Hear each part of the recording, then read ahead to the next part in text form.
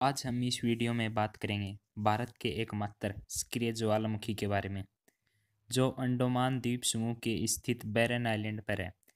बैरन बैरन शब्द का अर्थ है बंजर। बैरन आइलैंड अपने ही नाम पर गया है, यहाँ की भूमि बंजर है। बैरन आइलैंड पर कोई भी व्यक्ति नहीं रहता है, यहाँ सिर्फ़ सक्रिय ज्वालामुखी ही फैला हुआ है। यह भारत का एकमात्र सक्रिय ज्वालामुखी है इसकी ऊंचाई तीन सौ चौवन मीटर यानी ग्यारह सौ इकसठ फुट है। यह अट्ठाईस मई 2005 को फटा था।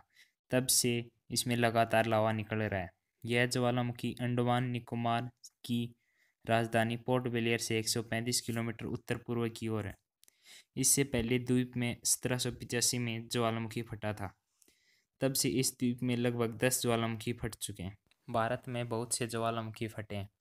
लेकिन भारत का एकमात्र सक्रिय ज्वालामुखी बैरन आइलैंड में ही स्थित है। यह ज्वालामुखी बंगाल की खाड़ी के बहुत निकट है।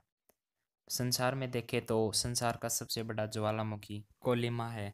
भारत के इस ज्वालामुखी में अंतिम बार विस्फोट 2017 में देखा गया था।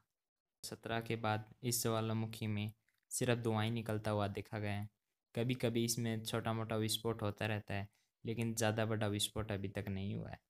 तो दोस्तों, कैसी लगी मेरी ये वीडियो? कृपया मेरी इस वीडियो को लाइक करें। Thank you.